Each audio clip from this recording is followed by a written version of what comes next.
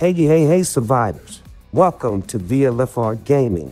Today, we meet for a little video. You see behind me, I put the live video. We are here for the new activity Survival Desert. They gave us the gameplay of the Path of Water. What is going to be different? You have two teams like the Path of Water. You have the same map. So they changed the design a little, but it remains the same. You have towers with speed boosts, attack boosts, and healing boosts. You have main buildings that give you points every minute. The same principle as for the normal path of water, except this time you are not five against five. You are four humans against one monster. But the monster is not IA. The monster is a player. There is one player who will be alone against four players who will play the role of humans. How will the game go? The monster has three march and the humans have two march. So the humans have eight march against three march for the monster. However, the monster has many more advantages. What just happened behind me was a game as a human. It's quite simple. How to score points as a human. You have to take the buildings. The towers do not give you points. The buildings give you points. Each building 30 points per second. You have four or five buildings, but be careful how the monster scores points. It scores points by killing you. So the activity is nice. The concept is nice. It's cool. But there is something wrong. It is way too easy for the monster to win.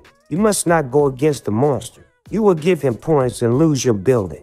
In fact, this survival desert activity will resemble the game of cat and mouse. Actually, what you see here is me playing the role of the monster. And actually, all I do is chase them and take their buildings. Those that are blue will become red. The buildings that are red are blue for them. You know the principle of path of water. All the buildings that are red I will take. I will turn them blue. And as soon as they go to take another, I will chase them, and they did not give me points will flee. So I will take their building. They will not have a building, and they will not score points.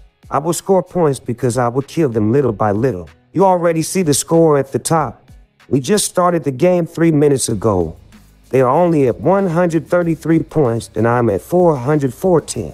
It is way too easy for the monster to win, especially since we are against a team of friends. That means it is not a random team, if you end up with randoms with no communication and no organization, it is going to be really complicated to win. The monster has boosts. You see them behind me. The boosts that are there allow you to see where the players are because it is really the game of cat and mouse. You see the buildings that are red or blue, but you don't know if there are players inside. So those boosts behind me allow you to see the players in the buildings and see where the moves are. You see it is really the game of cat and mouse. You see it right now.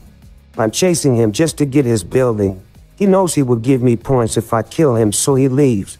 He leaves me the blue building. The concept is nice. The activity is really cool. But something is missing. I couldn't tell you what. But I think on the real server, it is not going to be cool. About skill when you are a human. I think the bomb is the only skill that would be interesting a full bomb team and you send repeated bombs on the monster to get rid of it, it's the only way to get rid of it without giving it points. Because obviously the monster is stronger.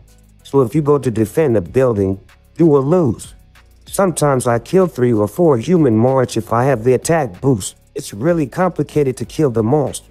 The activity is really cool. The concept is really cool.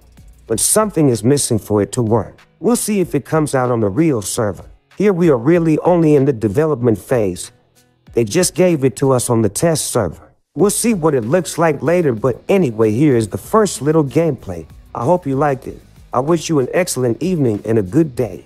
Don't forget to leave a comment and subscribe if you don't want me to wish you an excellent evening. If you don't want I come to burn you. Sorry, I'm tired. The day has been long. Ciao, ciao, survivors.